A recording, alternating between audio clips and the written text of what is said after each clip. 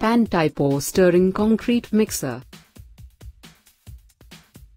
Pan type or stirring mixers are non-mobile mixers which are used either as a central mixing plant or at a precast concrete factory.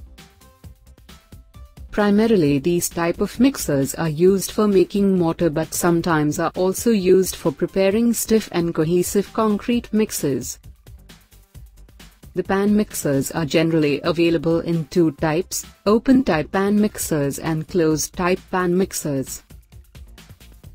In open type pan mixers, the shaft with rotating blades is fixed at the center of the drum which is attached to the belt system at the bottom. As the belt rotates, the shaft starts to rotate which in turn mix the concrete ingredients. Once the required mixture is obtained, the concrete is drained out by the outlet provided at the bottom. The other type of pan mixer is a closed type which is also called as dual drum mixers. This type of mixer is used for mixing concrete for construction of pavements.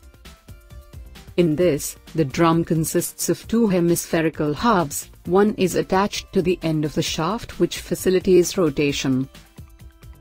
The other is free to slide over allowing the drum to open at the center.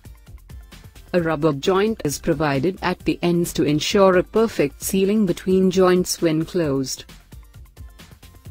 As the blade rotates the circumferential speeds is created such that cross flow is created between the blades which cause turbulence and produces a perfectly homogeneous mixture. Once the required mixture is obtained, the concrete is drained out by the outlet provided at the bottom. The main advantage of this type of mixer are the concrete produced will have no segregation and also this mixer has advantage of producing kneading and crushing action on the ingredients.